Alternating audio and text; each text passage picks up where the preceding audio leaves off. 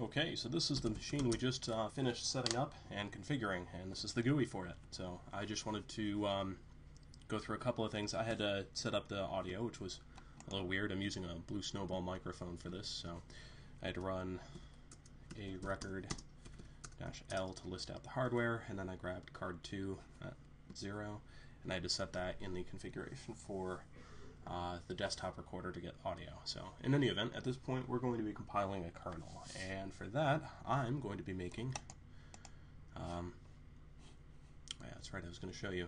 So I have all my stuff configured now. I have Google Chrome running, Sublime Text is there, Record My Desktop is there, Guake Terminal, which is this right here. So what I'm going to be doing now is creating a directory for source. I'm going to create source and then a Linux directory beneath it. So cd c linux and I'm going to download the latest source code. Now when I say latest I mean the latest functional source code.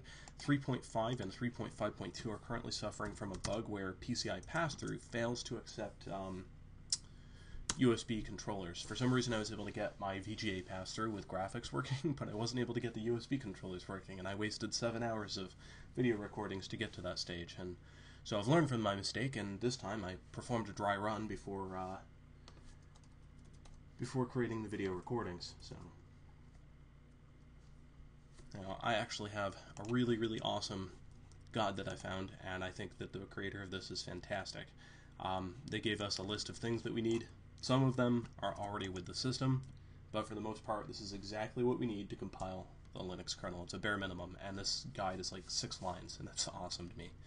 So we're going to do sudo aptitude install, and we're going to install these packages.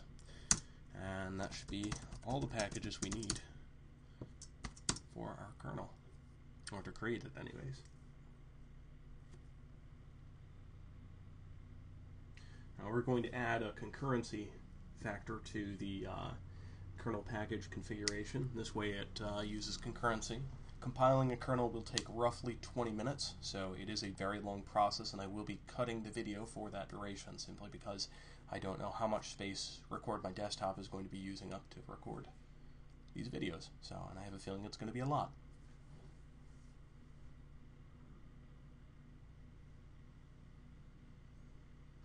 So we're going to extract the uh, kernel using tar, xf, linux kernel, go, and then we can remove that, that file. Now again, I mentioned this before, but compiling a Linux kernel will consume 7 gigabytes of space. A uh, little under, but you want to have at least 7 gigs free. So if I do df-h, right now I have a home directory right here, and I have plenty of space available, and that's kind of why I created it. So rm linux, there we go, cd, here. All right. So what we're going to do is we're actually going to copy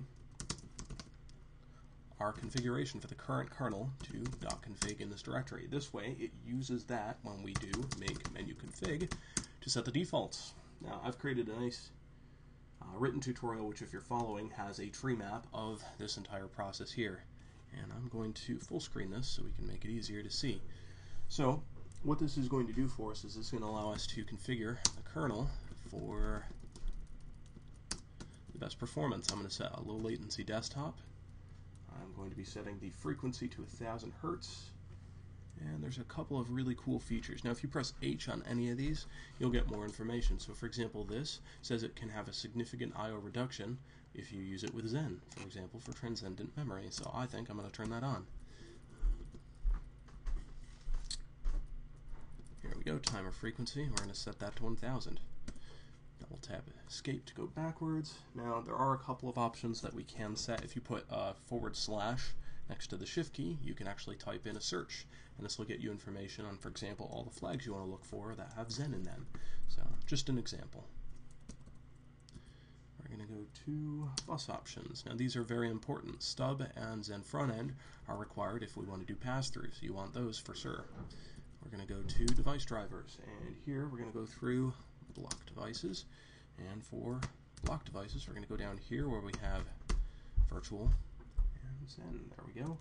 We're going to go to network devices next. Enable Ethernet driver support for a Xen multi-port gigabit Ethernet. We also want to go down to, oh wait, right, still inside here we have Xen and Xen. And these are for paravirtualized or uh, PVHVM. So a lot of them aren't entirely necessary, but since we're running Xen, you may as well have everything turned on. At least that's my way of thinking. And so far, it's been a complete success. So we're going to turn all those on. This is the only one we don't want to turn on. I found that it creates problems, and it requires a specific flag. Um, this one here, ACPI processor. If you want to give it a test run, you're welcome to do so. I have, and it was not successful. So turn on EFI variable support, and there we go. If I double tap escape from the main menu, it'll ask me to save it, and that's done. Now, if you're running through a SSH connection, you would want to run screen right now. That's because if you don't, and your connection gets disconnected partway through the compilation process, it would uh, cancel it out, and you'd have to start over. So, just a recommendation. All right, we were going to edit uh, kernel package and we're going to add a new line called concurrency level, and we're going to set it to double the number of physical cores. I have a Core i7, which is a 4 physical core, 8 virtual core processor, so I'm setting it to 8.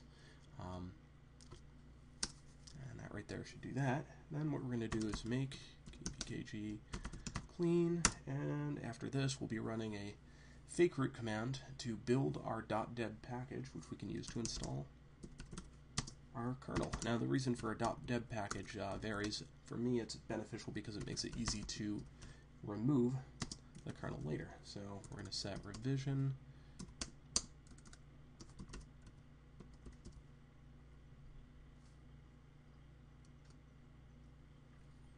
Now this needs to start with a number as of the latest um, GCC. So just take a note that if you set revision to a letter first, GCC may fail. And after running this, it will take roughly 20 minutes. So I'm going to cut the video right now, and I'll be back as soon as it's finished.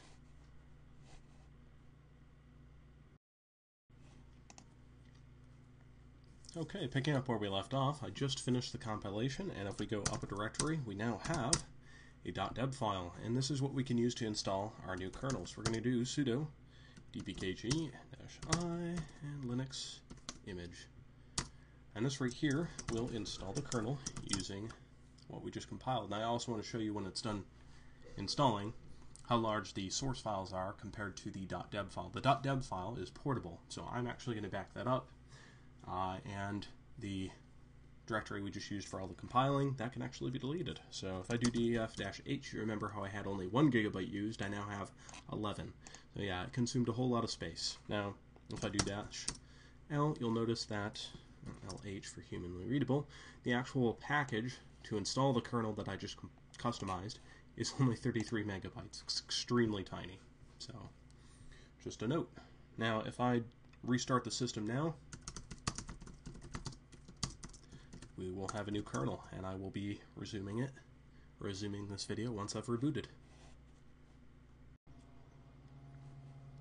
Okay, so coming from last time, we just finished installing the custom kernel, and if I now run uname-r, we'll see 3.4.9 is there. So, that's it. Uh, this is after the system rebooted, of course. Uh, the next video will cover Xen installation, or more specifically, compiling Xen, then installing and configuring it.